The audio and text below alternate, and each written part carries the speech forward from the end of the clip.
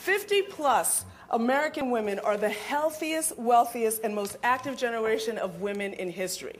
And that means they are sexually active as well. So it's not your stereotypical older woman from previous generations. Hi, Betty. And it's not your cliched, oversexed grandma either. This is a whole new generation of older Americans. They're really, these women are older and healthy. They're really like, uh, I don't know, would you say superheroes? Yeah, they're like superheroes. Exactly like, right. Like superheroes.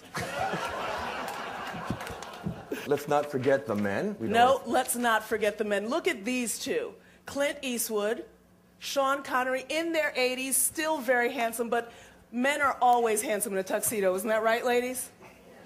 All men are handsome in a tuxedo. And, uh, well, I'm not a superhero, but you know, almost, right? Wouldn't you say almost?